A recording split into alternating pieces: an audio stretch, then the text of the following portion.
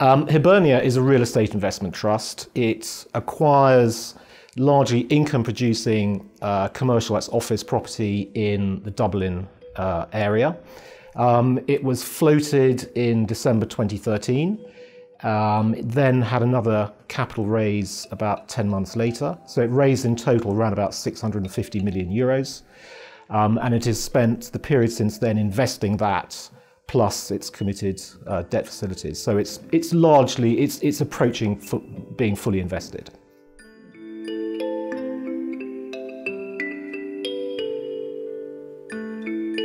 I mean, headed by a very experienced management team who, who do have years of experience in the Dublin market. It's very simple what they do. They acquire income producing properties, they redevelop, they refurbish, uh, and they improve the attractiveness of the, of the properties and therefore the rents that tenants are prepared to pay. So their rental income stream has actually risen very sharply over the last few years.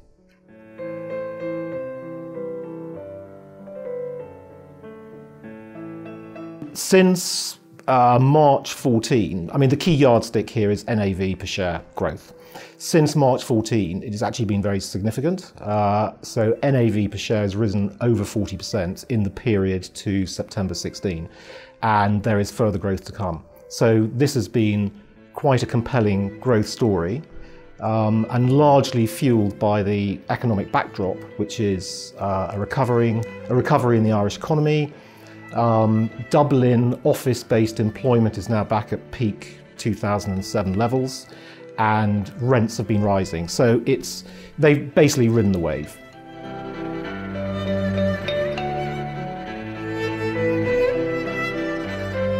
Okay, I mean, the, the, the, situation with their portfolio is that there is plenty to come from the portfolio they've assembled.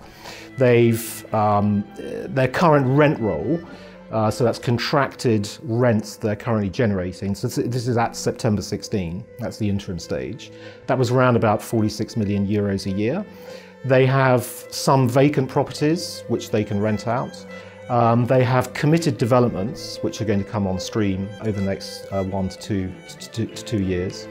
So rental growth is likely to rise from 46 million euros a year to approaching 60 million euros in the next uh, 15 months, and then up to 70 million euros in the next two to three years. So it's a very strong rental growth story.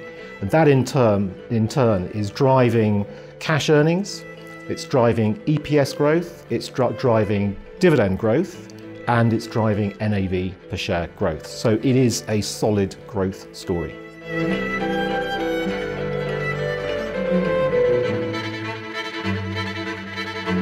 The shares are currently, it's, this is a euro uh, denominated stock. So the share price is currently around about one euro 24 cents. The latest reported NAV is around 135, um, a euro 35. So the discount is around about 8%. However, that discount will have widened in the last uh, six months, five, five months, um, because, as I said, uh, because of NAV per share growth. Um, the historic dividend is yielding around about uh, just over 1%, so it's not huge. But the dividend is anticipated to increase very sharply over the next uh, two, three years, and it's likely to rise to around about five cents a share. So the implicit yield, if you locked into it now, is around about 4%. So it's quite, it's an attractive, attractively valued share this. The, the key risk factor with this one is clearly the Irish economy.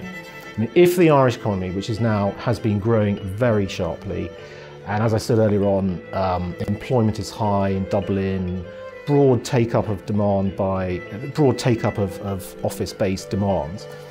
If the Irish economy starts to falter, then that is the key risk factor for this share. Uh, and there is a sort of feeling that the you know, the main recovery and growth has already happened in, in the Irish economy, and that the expectation now is for still economic growth, but at a reduced rate.